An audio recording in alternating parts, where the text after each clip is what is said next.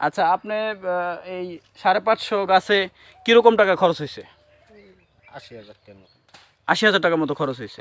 আচ্ছা খরচ বাদে আপনি কীরকম টাকা আপনার লাভবান হয়েছেন? খরচ বাদে?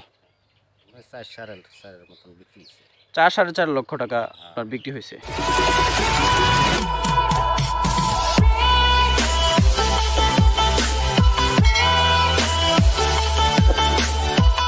হ্যালো ভিউয়ার্স, আসসালামু আলাইকুম। সিবিটিভি ফাইভের পক্ষ থেকে আপনাদের স্বাগতম।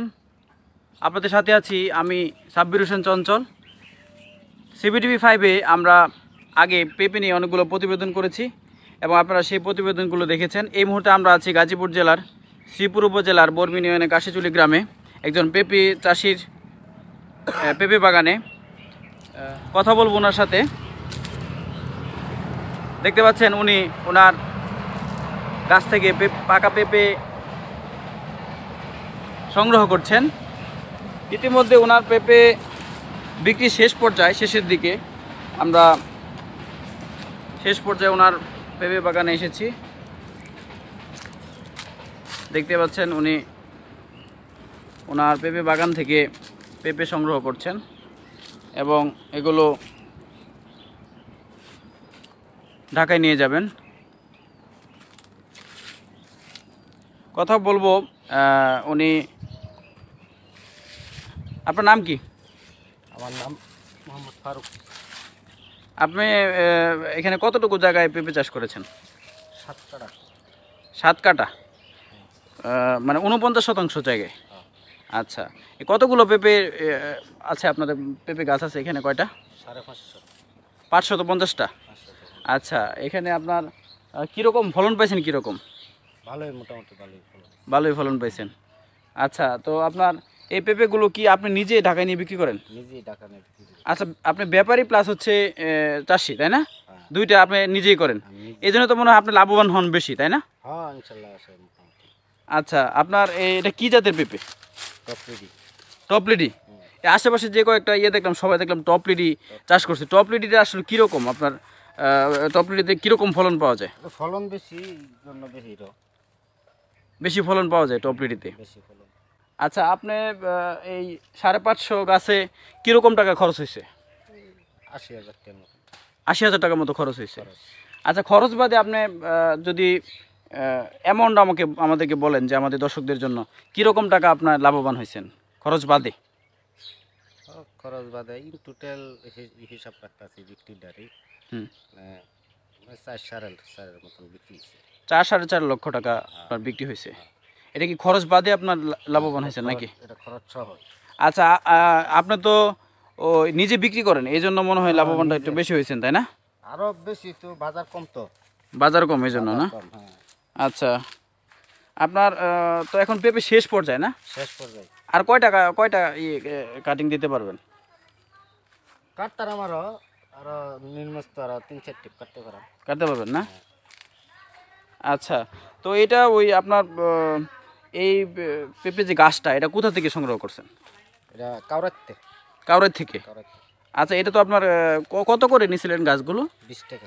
বিশ টাকা পিস এটা তো ওনারা রেগুলার ইয়ে করে। রেগুলার আচ্ছা চলেন আরেকটা গাছ দেখি। এই গাছে দেখলাম শেষ পর্যায়ে এগুলো আসলে যেভাবে কেটে কেটে উনি রাখতেছেন নিচে দেখতে পাচ্ছেন এখন এখান থেকে উনি সংগ্রহ করবেন। একসাথে সংগ্রহ করবেন। উনি খুবই পরিশ্রমী একজন কৃষক বলা চলে। উনি আহ, সবসময় পেঁপে বাগানে দেখা যায়। এই যে একটা পেঁপে এই পেঁপের একটু দেখান তো। এটা হচ্ছে আপনার একটা লালের একটা ভাব চলে আসছে না? মানে পাকার একটা ভাব চলে আসছে। এখন এটা এটা এটা আপনি পুরোপুরি পাকবে কীভাবে? পেপার ফেস দেন। এটা পেপার দিয়ে ইয়ে করে মুড়ে রাখবেন? হ্যাঁ পেপার দিয়ে ফেস দিয়ে কার্টুনে করে একদিন রাখলি একদিন রাখলে পেকে যাবে? একবার একদম লাল হয়ে যাবে। ও আচ্ছা। এমনি অন্য কোনো আপনি মেডিসিন তো ব্যবহার করেন না আশা করি? মেডিসিন নেই। কোনো মেডিসিন লাগেও তো না? পেঁপের মধ্যে কোনো মেডিসিন চলে না। পেঁপের মধ্যে কোনো মেডিসিন চলে না। তাহলে পেঁপেটা খুব সহজে পেঁপে পেপার দিয়ে মুড়ে রাখলে খুব সহজে এটা পেকে যায় তাই না? হ্যাঁ। পেঁপের মধ্যে আপনি তো গতবারও পেঁপে চাষ করেছিলেন। হ্যাঁ এই একই জায়গায় না? আচ্ছা এটা তো আপনার নিজস্ব জায়গা না না? না এটা আমার কন্ট্যাক্ট নিয়েছেন। কীভাবে কন্টাকে নিয়েছেন? বছরে ষোলো হাজার। বছরে ষোলো হাজার টাকা দেন আপনার উনপঞ্চাশ শতাংশ জায়গার জন্য। হ্যাঁ। আচ্ছা অনেকে আছে মনে করেন যে এরকম ইয়ে চায় আর কি মানে জমি বর্গা চায় আর কি। আপনি তো বর্গা সিস্টেম তাই না? মানে আচ্ছা আচ্ছা আর এটা হচ্ছে কন্ট্রাক্ট কন্ট্রাক্ট আচ্ছা এরকম কন্ট্রাক্ট চায়। এরকম গাজীপুরে বা আশেপাশে এরকম কন্ট্রাক্ট দিবে এরকম জমি আছে? আছে বহুতই আছে যদি আমার আমার সাথে শেরপুর থেকে একজন ভাই যোগাযোগ করছিল যে উনি এখানে অস্থায়ীভাবে উনি জমি কন্ট্রাক্টে নিয়ে জমি এরকম পেঁপে চাষ করতে চায়। তো এরকম পাবে না? হ্যাঁ। আচ্ছা আপনি ষোলো হাজার টাকা করে দেন। এটা মূলত দান এই জমিতে দান হইতো ওইটার পরিমাপে আপনাকে হিসাব করে দিতে হয় না? আচ্ছা এটা তো মনে করেন যে যদি পাওয়া যায় তাহলে তো খুব ভালো এই সিস্টেমটাই ভালো তাই না? এখন বর্তমান আঙ্গর এলাকায় এটি চলছে বেশি। এভাবেই চলে না? এইভাবে আপনি তো গত গত বছর করছেন আর এই বছর করছেন? করছিলাম আরও আরও পাঁচ ছয় বছর আগের থেকে করতেছি এটা করছিলাম আরেক জায়গায়। আরেক জায়গায় করছিলেন না? গ্রাম আচ্ছা আচ্ছা। বয়রা গ্রামের একজন আহ, পেঁপে চাষি রয়েছেন উনি নাকি আহ, পেঁপে চাষ করে মোটামুটি স্বাবলম্বী। হ্যাঁ। আহ, ওনার নাম কি যেন? সাদির। সাদির। তো একদিন চেষ্টা করব ওনার সাথে আহ, কথা বলার জন্য। আহ, দর্শক মণ্ডলী আমরা উম, চেষ্টা করব সাদির ভাইয়ের সাথে একদিন কথা বলার জন্য ওনার অনেক বছর যাবত পেঁপে চাষ করছেন এবং মোটামুটি উনি তো মোটামুটি নাম ডাক আছে পেঁপে চাষি ক্ষেত্রে? হ্যাঁ হ্যাঁ আচ্ছা উনি শুনলাম যে ফাউন্ডেশন বাড়ি করতেছেন। হ্যাঁ ফাউন্ডেশন বাড়ি করতেছে। এ তো পেঁপে থেকে না? আচ্ছা। পেঁপে চাষে মোটামুটি স্বাবলম্বী হয়েছেন এবং উনি যতটুকু আমরা শুনলাম যে উনি ফাউন্ডেশন বাড়ি করতেছেন হ্যাঁ। উনিও এর ওনার মতোই ফারুক ভাইয়ের মতোই উনি নিজে পেঁপে চাষ করেন এবং সেগুলা ঢাকায় নিজেই বিক্রি করেন মনে হয়। এরকমভাবে উনি বিক্রি করেন এবং আমি স্বাধীন বাবুল আমরা বিক্রি করছেন। আচ্ছা আপনি তো নিজে এগুলো নাকি সংগ্রহ করে ঢাকায় বিক্রি করেন? হ্যাঁ হ্যাঁ নিজে। আচ্ছা খুবই ভালো লাগল যে আপনি একাধারে চাষিও তারপরে আপনি এগুলো আহ, ব্যবসায়ীও একসাথে বিক্রি করতে পারেন। তো আমাদের শুনে খুব ভালো লাগল। চলেন আরেকটা আপনার আরেকটা বাগান দিকে আপনি তো শেষ পর্যায়ে না? বাগান থেকে হ্যাঁ। আর কয়টা ইয়া সংগ্রহ করতে পারেন? কয়বার সংগ্রহ করতে পারবেন? আরও নেন যে দুই মাস ভরাই আহ, আচ্ছা পরে এটা তো আপনি ইয়ে করতেছেন দুই বছর যাবত করতেছেন। হ্যাঁ। গত বছর করছেন। গত বছর কিরম লাভবান হয়েছিলেন? বালাই কত বছর বাজার বালা এটা এই পেঁপেটা তো সংগ্রহ করার উপযোগী তাই না? হ্যাঁ। এখন এটা কাটবেন না? হ্যাঁ আচ্ছা আচ্ছা। আচ্ছা।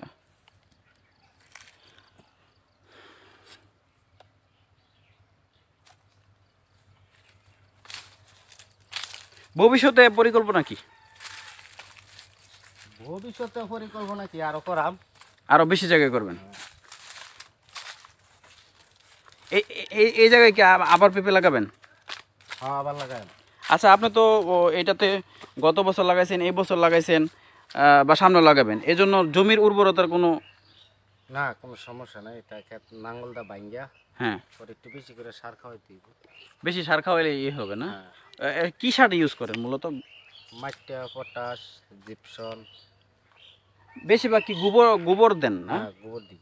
আচ্ছা গোবরগুলো সংগ্রহ করেন কোথা থেকে? এই যে এলাকাতে কিনে লই। এলাকা থেকে কিনে নেন।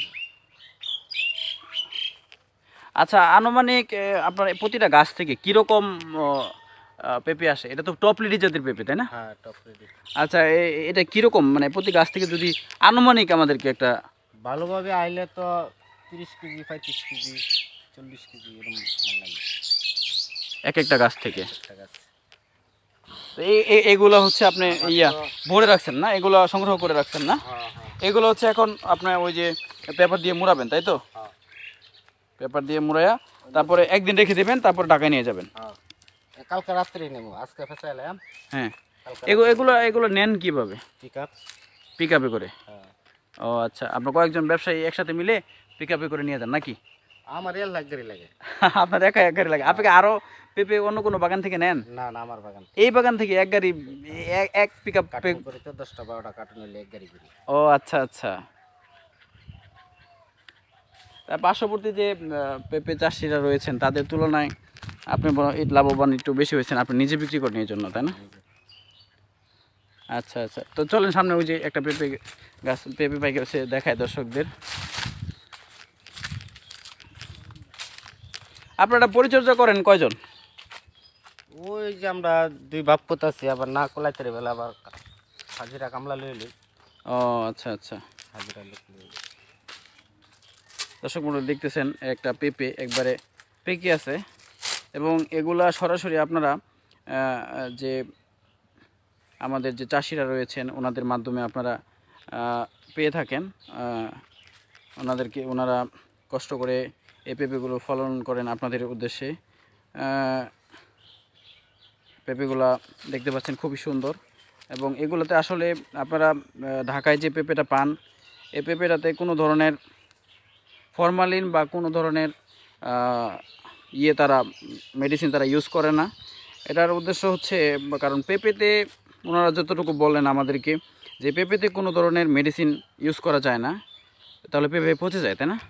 পেঁপে পচে যায় এবং দেখতে পাচ্ছেন এই যে এক পাকা পেঁপেটা এটাতে আপনার কোনো মেডিসিন ইউজ করতে হবে না কারণ এটা সুন্দরভাবে পেকে আছে এবং এটা শুধুমাত্র আপনাদের সরাসরি আপনাদের হাতে পৌঁছে পৌঁছে দেবেন। এই ফারুক ভাইয়ের মতো যারা কৃষক রয়েছেন, চাষি রয়েছেন, পেঁপে চাষি, তারা নিয়মিত পেঁপে চাষ করতেছেন এবং আপনারা যারা বেকার যুবক রয়েছেন, তারা চাইলে ফারুক ভাইয়ের মতো আপনারা পেঁপে চাষ করতে পারেন এবং পেঁপে চাষ করে স্বাবলম্বী হতে পারেন।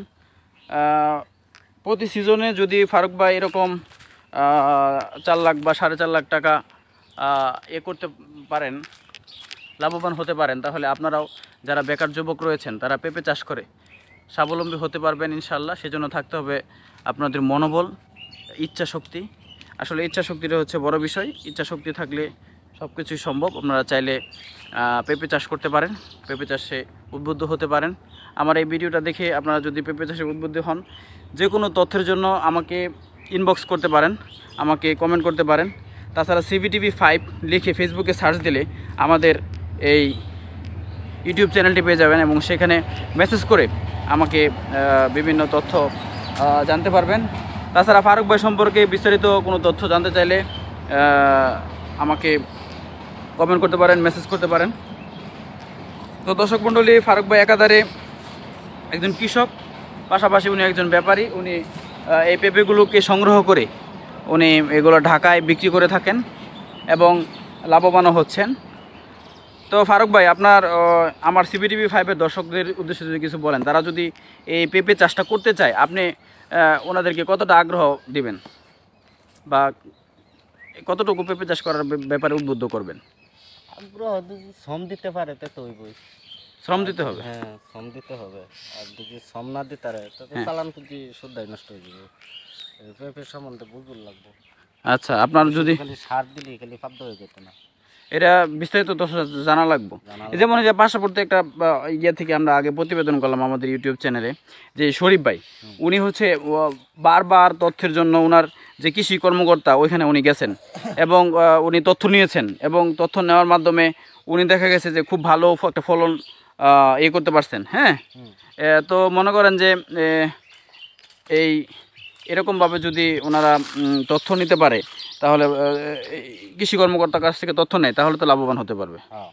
লাভবান হতে পারবে ইনশাল্লাহ। একজন জানতেই যে একজনের দুই চার বছর করে তার তার অভিজ্ঞতা আছে। তার কাছ থেকে তথ্য নেওয়া লাগবে? হ্যাঁ তথ্য নিলে পারব। আচ্ছা। আমি- জানছি না। হ্যাঁ। আমি ওই আমার এক বন্ধু লোকের পেপে করতে আমি তার শ্রম দিতাম। হ্যাঁ হ্যাঁ। আগে কাজ করতেন? হ্যাঁ। ওই যে ওনার নাম কি সাদির আচ্ছা ওইখানে আগে কাজ করতেন কাজ করার পরে আস্তে আস্তে আপনার অভিজ্ঞতা হয়ে গেছে। এখন আপনি নিজে চাষ করা শুরু করছেন। আচ্ছা ঠিক আছে ভাই আবার এবার লইয়া ছয় বছর। ছয় বছর যাবত করতেছেন এইখানে করতেছেন দুই বছর? কেন দুই বছর। আর ওইখানে আগে শ্রম দিয়েছেন চার বছর? না আমি নিজেই করছি হেন আরও পাঁচ বছর। আচ্ছা সব মিলে আপনার মোটামুটি অভিজ্ঞতা আছে যে কারণে আসলে লাভবান হতে পারছেন। দর্শক মণ্ডলী দেখতে পাচ্ছেন ফারুক ভাইয়ের ছেলে নাম শরীফুল। ও এখানে পেঁপে চাষের ব্যাপারে তার বাবাকে সহায়তা করে সর্বদা। খুবই পরিশ্রমী এক- একজন ছেলে। উনি সব সময় দেখা যায় এই পেঁপে বাগানে থাকে এবং তার বাবার সাথে পেঁপে সংগ্রহ থেকে শুরু করে পেঁপে গাছ লাগানো এবং পরিচর্যা করার সব ব্যাপারে সাহায্য সহযোগিতা করে।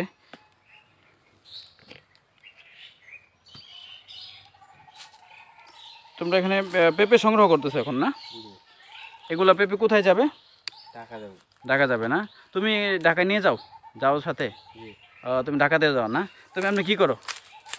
ব্যবসা বাণিজ্যই আহ, পড়াশোনা করো না? পড়ছি এখন শেষ। মেট্রিক পর্যন্ত পড়াশোনা করছ না? ঠিক আছে।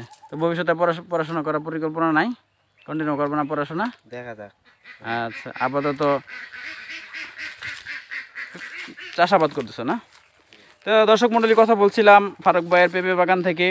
তো ফারুক ভাইকে খুবই ধন্যবাদ আমাদের সাথে সময় দেওয়ার জন্য। দর্শক মণ্ডলী আপনাদেরও ধন্যবাদ আমাদের সাথে সময় দেওয়ার জন্য। ফারুক ভাই যদি আমার দর্শকদের উদ্দেশ্যে কিছু বলেন এই পেঁপে চাষের ব্যাপারে। দর্শককে কি বললাম? দর্শকের যে ইচ্ছা থাকে করব। ইচ্ছা থাকলে করতে পারে? হ্যাঁ। যদি ভালো পরিচর্যা করতে পারে তাহলে স্বাবলম্বী হতে পারে তো। হ্যাঁ দর্শক মণ্ডলী, ফারুক ভাই যেটা বললেন, আপনার যদি ইচ্ছা থাকে, প্রবল ইচ্ছা শক্তি থাকলে আসলে সবই সম্ভব। আপনারা চাইলে পেঁপে চাষ করতে পারেন এবং স্বাবলম্বী হতে পারেন। তো দর্শক মণ্ডলী, তো দর্শক মণ্ডলী, এই ছিল আমাদের আজকের প্রতিবেদনে। কথা বলছিলাম ফারুক ভাইয়ের সাথে, খুবই ভালো লাগল এবং ওনার পেঁপে বাগানের বিস্তারিত তথ্য আপনাদের সামনে তুলে ধরার চেষ্টা করেছি। উনি ভবিষ্যতেও পেঁপে চাষ করবেন। আশা করি আবারও ওনার পেঁপে যে বাগানটি রয়েছে সেখান থেকে আপনাদের সাথে নতুন একটি প্রতিবেদন নিয়ে হাজির হব। সবাইকে আবারও ধন্যবাদ জানাচ্ছি আমার এই চ্যানেলের সাথে যুক্ত থাকার জন্য। যারা আমার চ্যানেলে নতুন দর্শক রয়েছেন, তারা আমার এই চ্যানেলটি সাবস্ক্রাইব করে রাখুন এবং পাশে থাকা বেল আইকনটিতে ক্লিক করে দিলে আপনারা আমার এই চ্যানেলে নতুন নতুন ভিডিওগুলো আপনাদের চ্যানেলে পেয়ে যাবেন।